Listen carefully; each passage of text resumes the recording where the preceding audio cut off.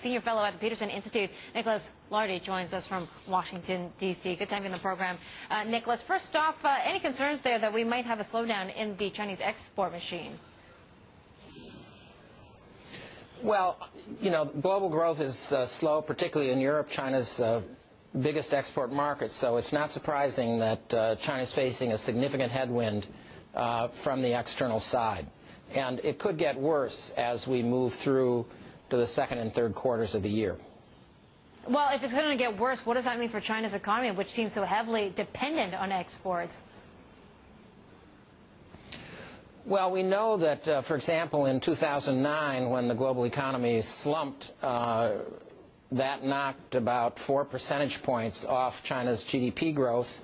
They were able to offset that with a massive stimulus program to some extent, but their growth slumped. Uh, this time, I think they're more constrained on what they can do on the stimulus side, uh, so their, their growth rate could come down.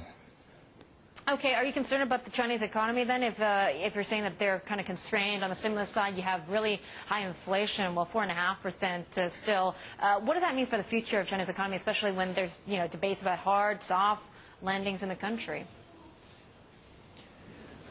Well, I think there's the external headwind we already mentioned. There's the internal growth is slowing down. Investment is slowing down, particularly uh, in the property sector, and that's likely to uh, uh, accelerate uh, as we as we move through uh, the first half of the year.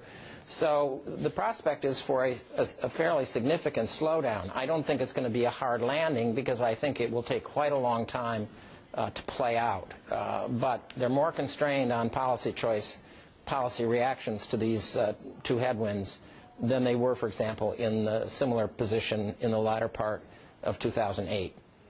Uh, and Nicholas, how significant is it that we're going to have a change in power in China in 2012? Xi Jinping, the incoming president, current vice president, he's on his way to the U.S. Uh, next week. A bit of a, some would say, a debutante party coming out for him. Uh, what do you think he'll, he'll discuss with the U.S. politicians in terms of trade? Well, I don't think they're going to get down in the weeds on specific trade issues. This is a very high-level visit. He will be the next president and, more importantly, the, the head of the party in China. And I think this is really an opportunity for the, the, top leadership in the United States to get to know him better, try to build up some trust, understand uh, the way he thinks about uh, global and domestic issues. So I think this trip really is an investment in the future of the relationship rather than a trip that's going to produce a lot of so-called deliverables.